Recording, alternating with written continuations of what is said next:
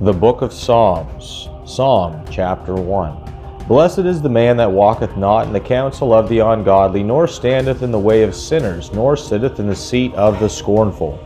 But his delight is in the law of the Lord, and in his law doth he meditate day and night.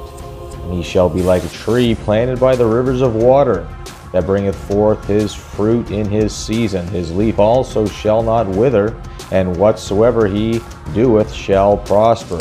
The ungodly are not so, but are like the chaff which the wind driveth away. Therefore the ungodly shall not stand in the judgment, nor sinners in the congregation of the righteous. For the Lord knoweth the way of the righteous, but, but the way of the ungodly shall perish.